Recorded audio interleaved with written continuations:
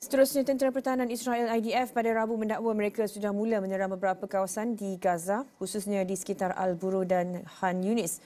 Jurucakap tenteranya, Daniel Hagari berkata dua kawasan itu dipilih sebagai medan serangan terbaru susulan ia disifatkan sebagai pangkalan utama untuk kumpulan pejuang Hamas.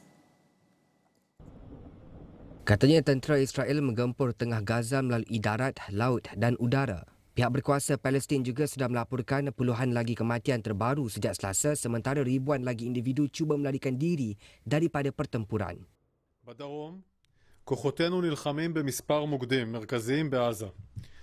אחד באזור הנקרא אל-בורג', זה אזור במחנות המרכז, שם אנחנו ביום השלישי להתקפה הורגים מחבלים רבים ומחסלים תשתיות טרור. השני זה ח'אן יונס, ח'אן יונס בדרום הרצועה, מוקד טרור מרכזי של החמאס, שם אנחנו הרחבנו את הפעולה, הוספנו היום חטיבה נוספת למרחב הזה, ואנחנו ממשיכים לפעול שם בשימוש בשיטות לחימה חדשות מעל האדמה ומתחתיה. Sementara itu, tentera Israel pada Rabu melaporkan tiga lagi askar terbunuh dalam serangan di Gaza menjadikan jumlah kematian tentera di wilayah itu sejak operasi darat bermula kepada 166 orang.